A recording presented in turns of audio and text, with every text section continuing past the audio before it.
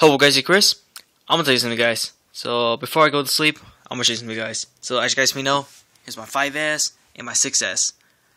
Those ones are gonna be my alarm clock. Here we go. Let's go here, right here, and here we go. Oh, it's on already. okay. I put them on before I start recording. So yeah guys, so as you see here, that's, that's the time I wake up you know, just in case, like, uh, if I fall asleep a little bit, I put the alarm clock just in case. So, yeah, I woke up around this time. And then I get ready, and then I just do something else on my phone.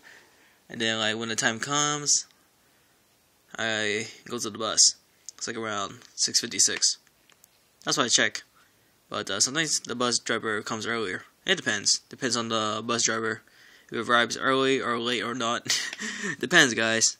And also, just want to let you know, guys. Uh, got this uh new uh wiring for the for the iPhone.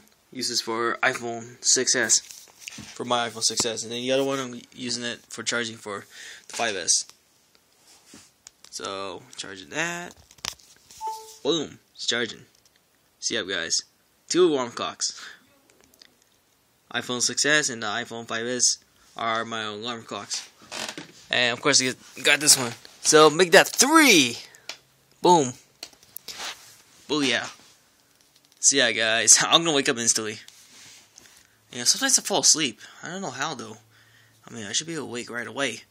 But anyways, yeah. Getting ready, guys. Tomorrow, Thursday. Man, days is actually going fast.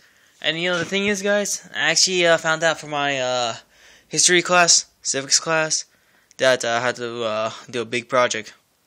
And I don't know, I keep thinking about it, but I shouldn't think about it right now. I mean, I could do like, I should do it early, so I don't have to worry about it.